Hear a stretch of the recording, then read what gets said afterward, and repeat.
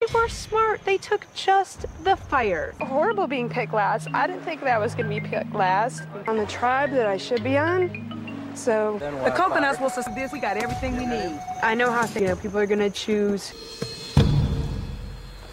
So we need to.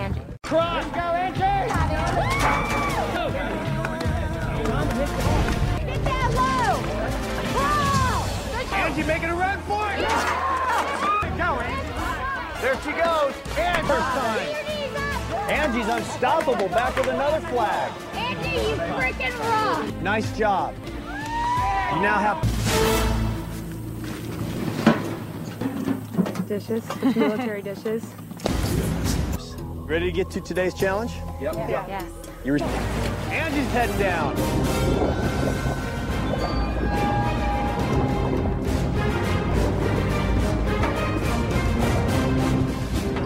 Maybe they're trying to do the same thing we're doing. Those four one. I really think it's. But uh, just to let you know, I'm voting for Jeff. You are? Oh yeah. I plan on voting for Jeff as soon as he hurt his ankle, Okay. and I'm not swaying from it. Okay, cool. Well, when they don't do nothing. Yeah. Some of the other tribe members want to vote off Kim, and I can see that because can get to the end with a busted up ankle, especially in these conditions. I can barely put any weight on it right now without cringing my teeth. Guys, we don't want to go. A huge momentum boost. We still got a few things to do, though. See,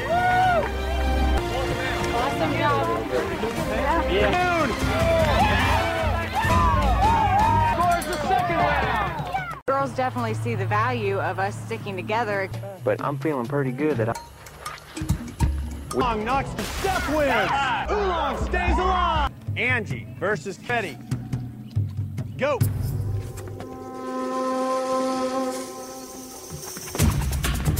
So she's pushing. Aaron's on the end. Wins. We're tied. Two. The rematch. Angie versus Ulong.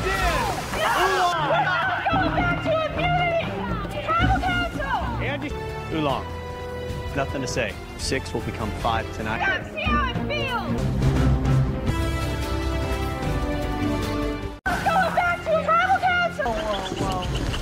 Council! really bad. We'll vote another member out of their tribe. Get in your outriggers. Head back to camp.